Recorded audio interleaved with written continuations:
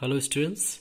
In our last class we discussed about the defects that means imperfection present in solids. Now in that we came to know about the what is point defect, what is vacancy defect, what is interstitial defect and the most important was Schottky and Frenkel defect. Now today we are going to see some properties of solids and the first properties that we are going to see is electrical properties. This topic is quite related with the physics. We have already learned in physics about it but once again since over here we have got in the chapter solid we have to look after it. Uh, electrical properties. On the basis of electrical conductivity solids can be divided into three categories. Okay? The first one is metals or we call conductors. The second one is insulators and the third one we have got semiconductors. Metals or conductors. Metals or conductors. In this case the electrical conductivity is due to the is due to the flow of electrons without any chemical change. And the conductivity of metals is of the order 10 to the power 4 to 10 to the power 7 per ohm per meter. Example copper silver and gold. They are metal conductors. When you consider insulators insulators they have got electrical conductivity is very very least. It is of the order 10 to the power minus 10 to uh, 10 to the power minus 20 per ohm per meter. Example pvc polyvinyl chloride rubber etc next we have got semiconductors. The semiconductors they have got they allow only partial conduction of electric current through them the electrical conductivity is 10 to the power minus 6 to 10 to the power 4 per ohm per meter which is intermediate between the conductors and insulators that means the electrical conductivity of semiconductors lies between metals or conductors and insulators and this Semiconductors are of two types, intrinsic semiconductor and extrinsic semiconductor. In case of intrinsic semiconductor, an insulator when conducts electric current either at high temperature or on radiation with electromagnetic waves, it is known as intrinsic semiconductor. Whereas extrinsic semiconductor is when an impurity is added to an insulator. It makes available either electrons or holes for electric conduction such an insulator is called extrinsic semiconductor. The addition of impurity to insulator is also known as doping. Okay, and these are of two types. Uh, these are two types, namely p-type semiconductors and p-type semiconductors and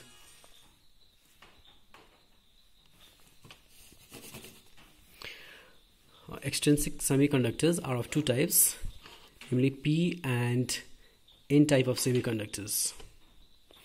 In n-type semiconductors, in n-type semiconductors, when the atoms of impurity provides more electrons than the parent atom forming the insulator, then it is called n-type semiconductors.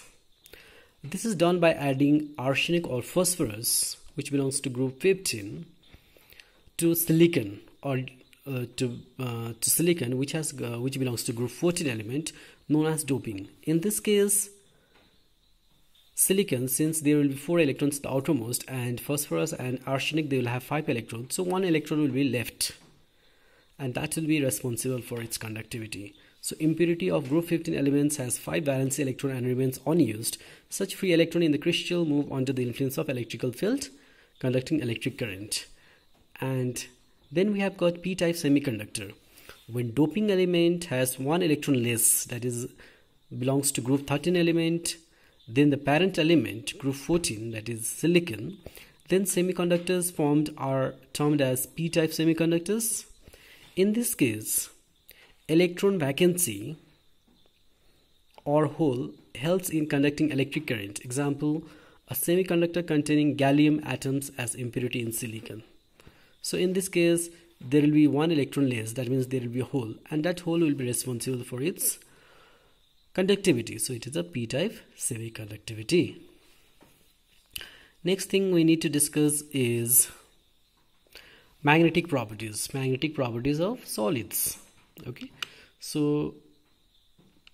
Since each atom in an atom behaves like a tiny magnet, its magnetic moment originates from two types of motion. That is, one, it is its orbital motion around the nucleus, and number two, its spin around its own axis. Because of this, they will show magnetic properties. And depending upon the behavior of solids towards magnetic field, there are five types. The first one is paramagnetism. These substances are weakly attracted when placed in the external magnetic field due to the presence of unpaired electrons in ions, atoms, or molecules of these substances. In paramagnetism, we have got unpaired electrons. And the unpaired electrons have magnetic moment, but their randomly orientation cancel each other effect. Hence, in the presence of external magnetic field, these unpaired electrons are aligned in the same direction and shows the temporary magnetism. Example, these are the uh, atoms or ions which shows paramagnetism. Similarly, diamagnetism. Diamagnetism means they are weakly repelled by external magnetic field because they have paired electrons. In paramagnetic unpaired and in diamagnetic they are paired electrons in their ions, atoms or molecules.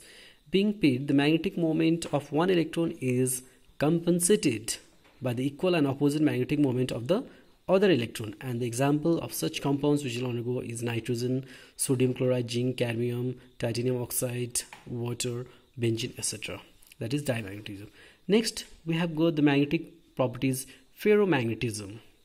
Ferromagnetism.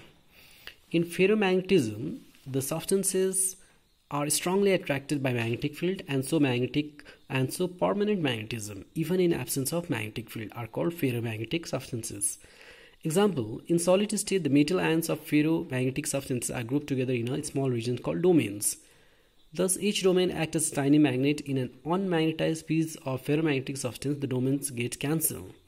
When the substance is placed in a magnetic field, all the domains get oriented in the direction of the magnetic field. So, this will be the direction of the magnetic moment in ferromagnetism. This ordering of domains persists even the magnetic field is removed. So, if you remove the magnetic field from here also, they will be remain in the same position and becomes permanent effect. Example, iron so iron has got a ferromagnetic properties. Say for example, if you rub a piece of iron with a magnet and remove it, you'll find that that iron will behave as a magnet for some time. That is ferromagnetism. In case of anti-ferromagnetism, the substances which possess zero net magnetic moment in spite of the presence of unpaired electrons are called anti-ferromagnetic substances. Example, manganese oxide iron oxide, Fe2O3, vanadium oxide, chromium oxide, etc. They have got the domain structure similar to ferromagnetic substances, but the domains are oppositely oriented and cancel out each other's in magnetic moment. So this is anti-ferromagnetism. So today we came to know about the electrical properties, conductors, insulators semiconductors and we have seen the two types of semiconductors intrinsic extrinsic and after that we further classified extrinsic semiconductor into p and n type semiconductors. Then after that we have just seen magnetic properties.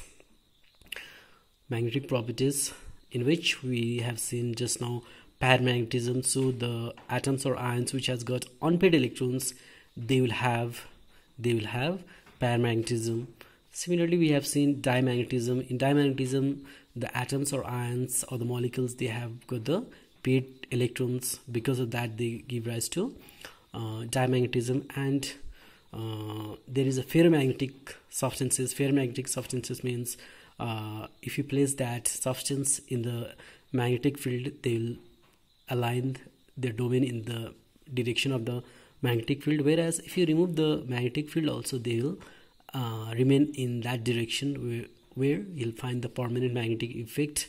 And after that we just now see antiferromagnetism. This substances possess zero net magnetic property.